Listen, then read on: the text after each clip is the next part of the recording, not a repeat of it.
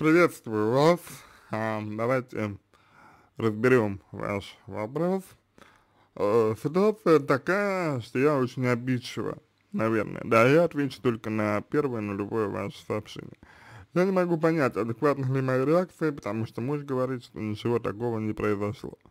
Ну, смотрите, а, если вы как-то реагируете на неприятные для вас э, моменты, то это, в принципе, нормально, что вы реагируете на это как-то. Другое дело, что обидчивость э, сама по себе не является э, как таковой симптоматикой именно вот э, реагирования. Обидчивость это скорее то, как вы реагируете на реагирование свое. Понимаете? То есть, например, если происходит что-то, что вам неприятно, то вы реагируете на это, ну, например, там, отторжением, да, отвращением, а, и чем-то еще, что, в принципе, является нормой. Вы говорите, я этого не хочу, мне это не нравится, я не буду этого делать, или что-то еще, мне неприятно, например. Вот. Но обидчивость сама по себе возникает не из этого, обидчивость возникает немножечко из другого. Обидчивость возникает из того, что вы ждете, что этого не произойдет. Обидчивость возникает из того, что, например, вам не просто неприятно что-то, что нормально, а обидчивость возникает из того, что, к примеру, э, вас это как-то задевает еще. То есть не просто неприятно, а именно задевает, то есть принижает, обесценивает и так далее. И вы э, как бы виновником этого считаете своего, например, мужа, да, и всю как бы ответственность за это перекладываете на него. Вы говорите, это ты виноват в том, что мне неприятно, ну, что даже не неприятно, а это ты виноват в том, что я себя обесцениваю, это ты виноват в том, что э, меня это задевает. Вот что такое обидчивость, поэтому тут два основных э, момента. Первое – это ожидание, и второе – это то, что вас задевает, э, вот, ну, какие-то моменты задевают, э, они просто вызывают, например, э, какую-то реакцию, да, по типу, ну, неприятно, например, или, может быть, что-то еще. Дальше. А, едем в машине, я муж и его сын.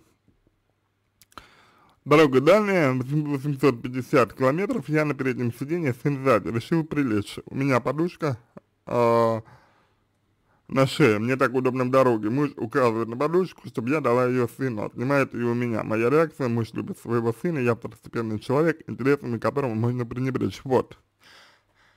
А, ситуация заключается в следующем. То, что вам может быть неприятно, то, что сделал муж. Это нормально. Вам это действительно может быть неприятно. Абсолютно нормальная реакция. Э, вы действительно можете не хотеть, э, ну, как бы отдавать, да, там, свою подушку ребенку. Ну, вот. Тут многое зависит от того, какие у вас отно отношения с э, ребенком, да? Вот. Принимаете вы его или нет, потому что если, например, вы его принимаете и, и у вас, например, все хорошо, то, по идее, желание дать ему подушку возникнет само собой, а может быть не возникнет. Э, у каждого человека все индивидуально. Совершенно не факт, что это желание возникло бы, даже если бы это был ваш ребенок. Что уж говорить про э, то, что это ребенок вашего мужа, но не ваш. Вот, но тут повторюсь, повторюсь, э, нужно смотреть, какие у вас отно отношения именно. Вот.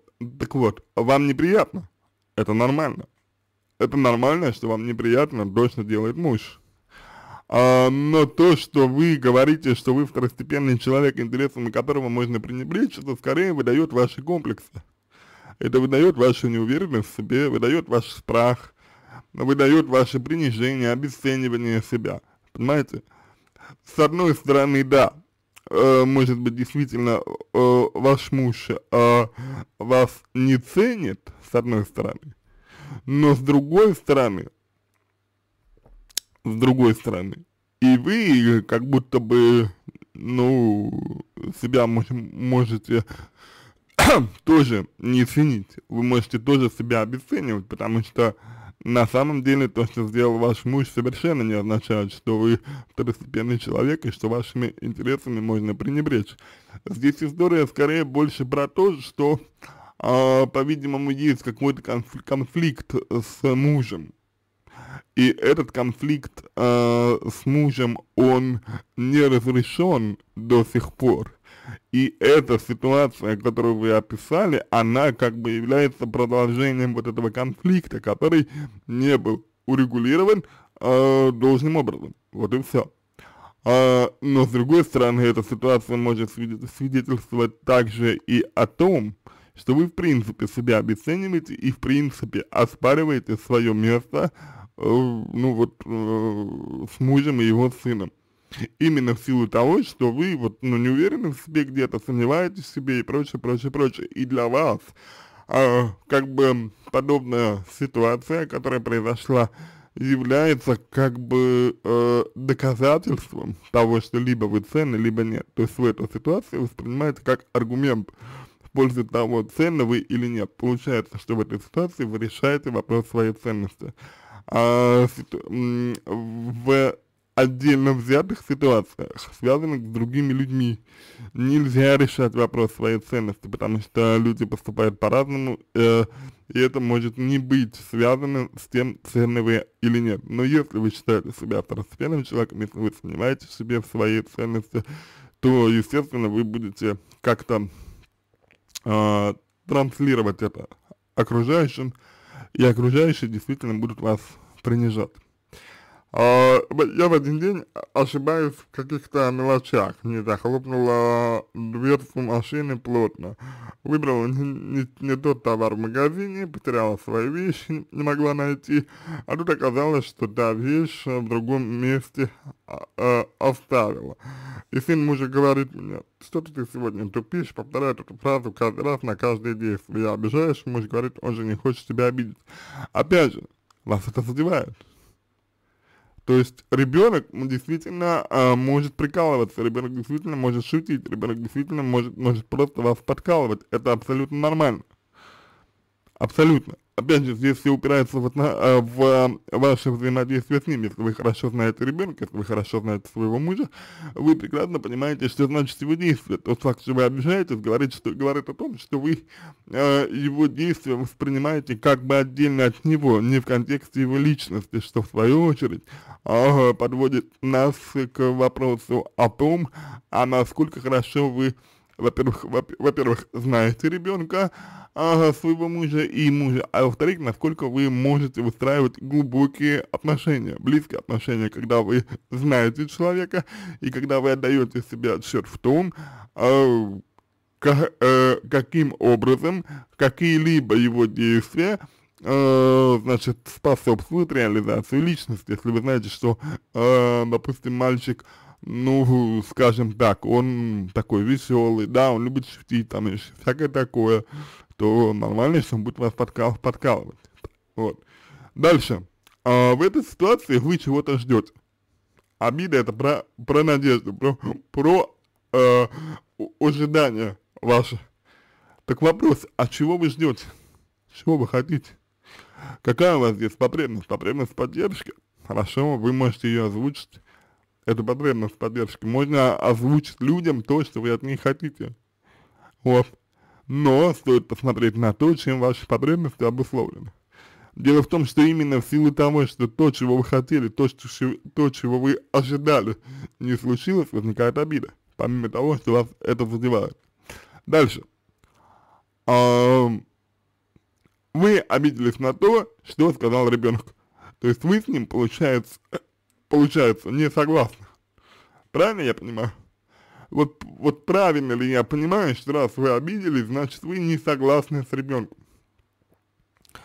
Если вы не согласны с ребенком, то как вы назовете то, что произошло в ситуации 2? Что это такое? Это рассеянность, это перегруженность, это усталость. Что это? То есть обижается человек еще и тогда, когда у него нет своих собственных представлений о самом себе. И он зависим от интерпретации его действий другими людьми. И если эта интерпретация для человека неприятна, э, ну, например, вот он сказал вам, что вы тупите, а вы, как бы, ну, запрещаете себе, например, допускать, что вы можете тупить. Вот. Все, вы обиделись. Дальше. А, долго собирались с мужем в ресторан, и вот я оделась, минуты и выходим, звонит его бывшая, затевает разговор на абсолютно несрочную тему касательно сына. Несрочная тема, это кто решил, что тема несрочная? Я стою, жду, вышла на балкон, зашла в ванную, в комнате постояла, потом уже сказала, что выхожу сама, только после этого он засуетился. Я высказал ему свое недовольство, он ответил, что он не понимал, что так критично, что я его жду. Опять же, и, э, складывается впечатление, что ваш муж про вас не знает. Складывается ощущение, что вы все время рассчитываете на определенную степень осведомленности окружающих людей о том, какая вы, эти люди не знают, реагируют так, как они, они ну, привыкли, и вы обижаетесь, потому что э, ваши интересы не учитывают. Понимаете, прежде чем говорить о том, учитывает ли человек ваши интересы или нет, нужно сначала его поставить в известность относительно того, э, собственно, какая вы. Есть, ощи есть ощущение, что, ну, вы этого не делаете. Вот. Дальше. А, значит, применительно к третьей ситуации я бы сказал так, что вам действительно может быть неприятно то, что происходит но надо выяснить, а, чем именно неприятно. Понимаете? Потому что, во-первых, не совсем понятно, почему вы долго собирались э, э, пойти туда, куда вы собирались. Это первое. Кто мы долго собирались? Вы или ваш муж? Не ясно. Дальше а, вы пишете, я оделась, а, и минута, и выходим. Как будто бы все зависит от вас. То есть, как будто бы э, здесь только вы определяете, ну, определяете, выходите э, вы или нет. И у меня сложилось такое впечатление, что пока муж вас ждал, все было нормально. Но когда вам пришлось подождать, все стало не очень хорошо.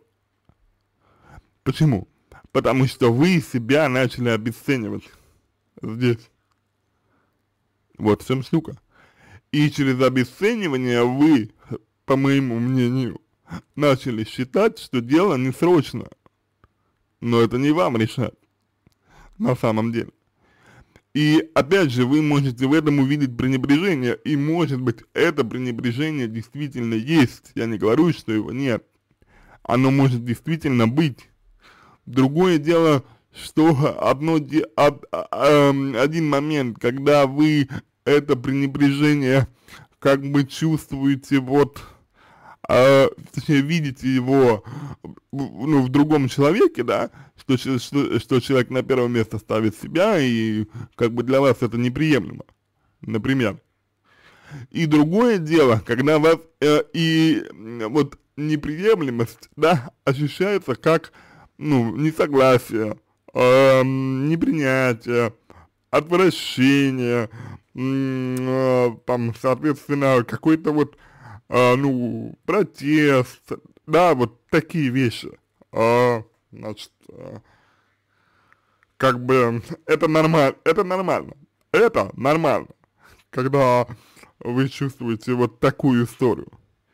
Но если э, вы чувствуете, э, ну, ну, немножечко, э, немножечко э, другие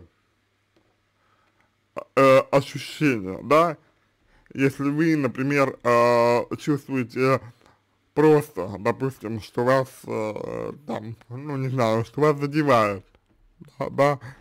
Э, вы чувствуете боль, боль, вы чувствуете вот то, что говорите, то это уже не, не совсем проблема вашего мужа, который действительно, может быть, вас, вами и пренебрегает, который действительно может совершать действия э, неприемлемые для вас, но такие действия, которые для вас неприемлемы, не вызывают обиду, они вызывают протест, они вызывают понимание того, что, что я хочу, они вызывают отвращение, например, если вы, там, я не знаю, вот вы, вы, допустим, э, ну, э, решили вы поесть, и вот вы берете кусочек, да, а он, ну, ну, испорченный, вот, просроченный или что-то еще, вряд ли вы будете чувствовать обиду, если только вы себя не обесцениваете.